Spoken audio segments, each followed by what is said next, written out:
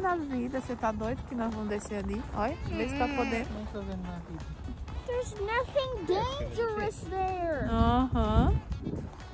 Vou mostrar a trilhazinha que eles querem descer pra vocês. É. Doido. Eles estão querendo descer ali, ó. Os aventureiros bonitos. Ali é o rio.